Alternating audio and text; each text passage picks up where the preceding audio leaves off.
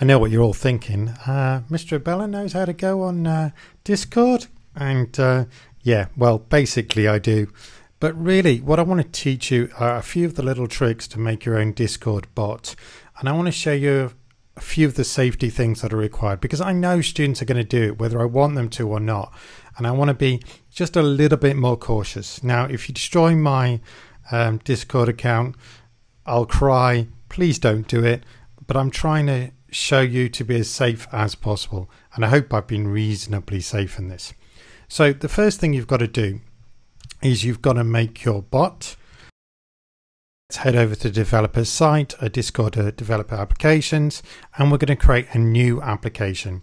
I'm going to give this a very simple name, uh, test app, just to show you.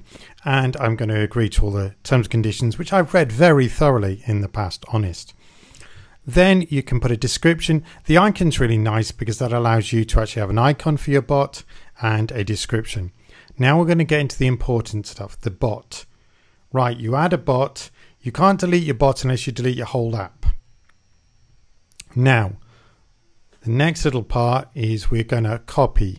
Now, that token is very important, and I'm doing my very best not to show you that token in any way, shape, or form on this video.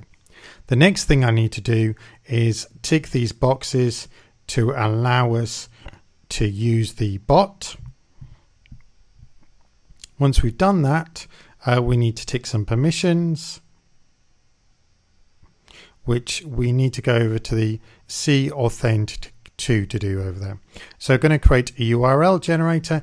Now be very careful. Some of these permissions are pretty crazy. So first tick that it's a bot. That's handy. Then I'm just basically going to tick most of the things to allow us to read and write. I'm even going to allow us to attach files. That might be a bit far, but uh, have a look. I'm not allowing slash commands but you might need that if you did it more sophisticated. But the only thing in terms of admin permissions is to read messages or view the channel. Right, I'm going to copy that. And then I'm going to make my test app.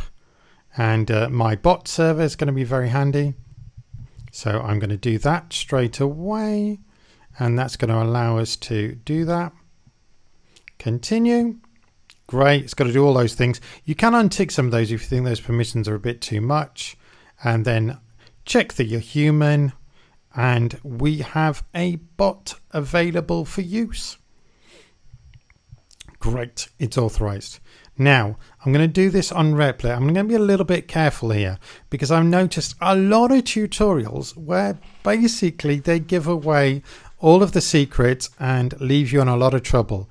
I'm afraid a few YouTubers have been rather distressed, caused a lot of problems because they've given away their Discord IDs and they've destroyed their servers.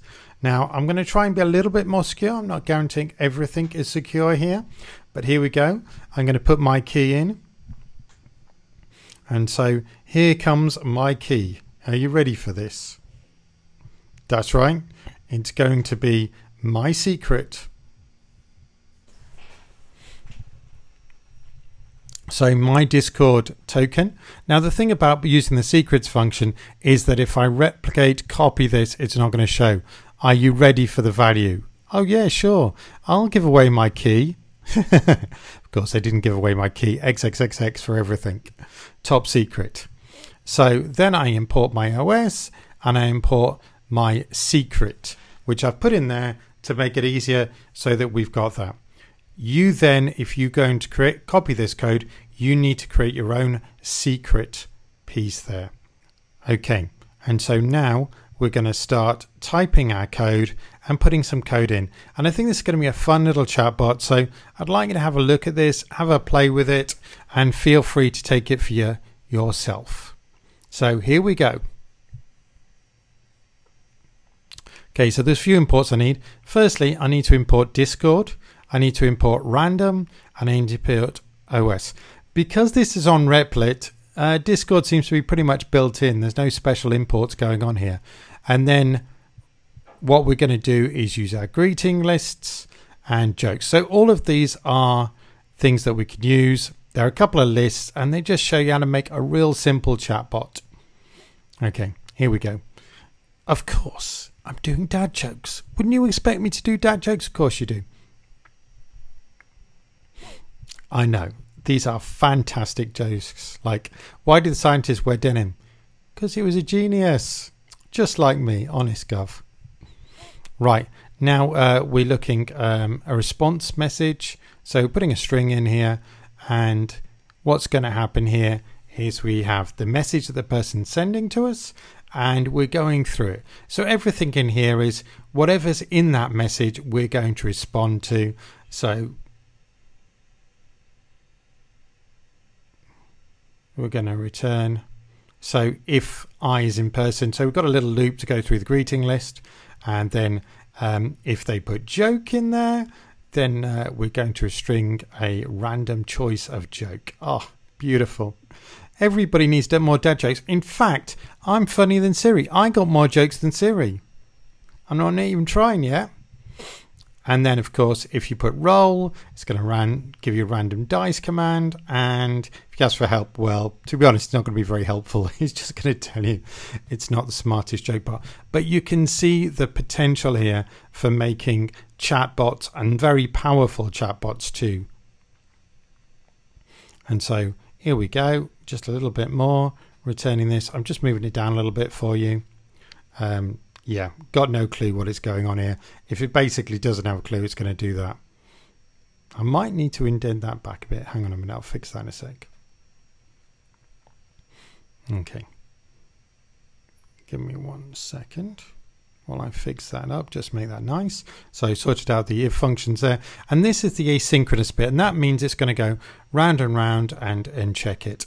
And a lot of this code, to be honest, is boilerplate code that you've just really got to check. So we've got to try and except, um, see if this works or not. And here we go. The response is there, and we keep on awaiting uh, to see if the person is going to send anything.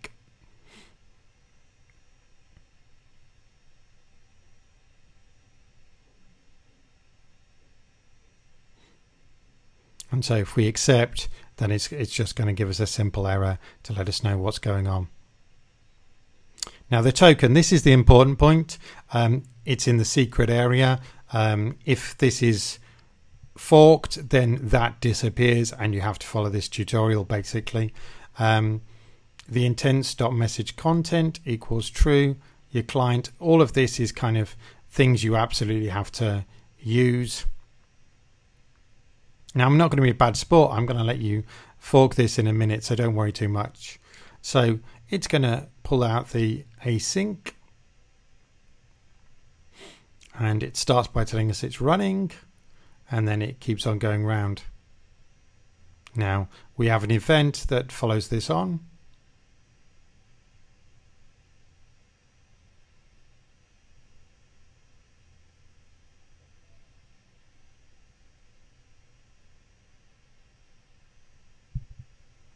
So we've got the username the user message. And these really are all about setting things up nicely.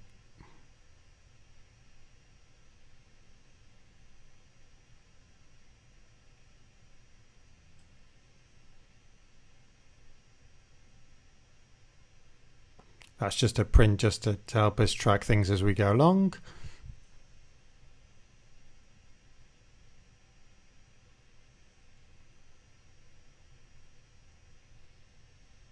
And so it keeps on going round as we go.